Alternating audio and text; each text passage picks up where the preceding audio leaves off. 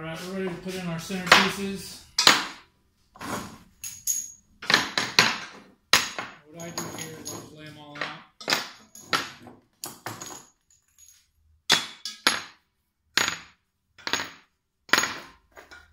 I somewhat line them up, but you know they don't have to be perfect right now. You just want to get them more or less where they're going to be, and uh, you'll use the clamps to pull everything together. And then you'll check for square. And make sure you're somewhat square. And here's where we use the jig that I made. And what I'll do is I'll just start lining these up so I know more or less they're in the right spot. And I'll just run a few through here. I know that's good. Put a clamp.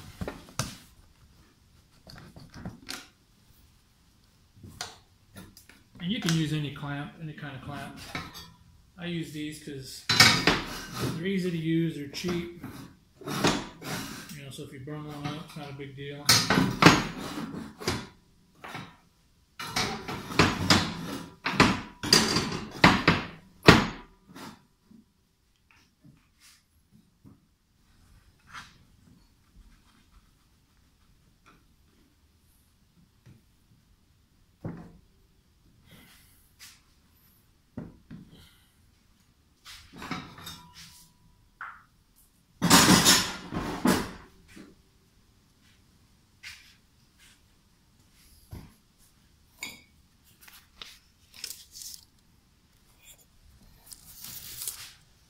So we'll want to make sure it's nice and square.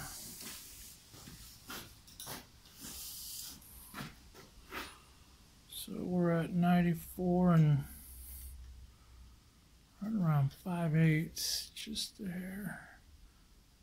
94 and 5 eighths. And we'll check this side.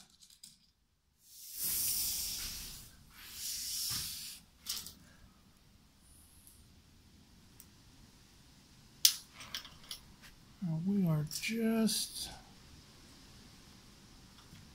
over five eight. So that's what that's a decent. We're close enough. If you're within a quarter inch,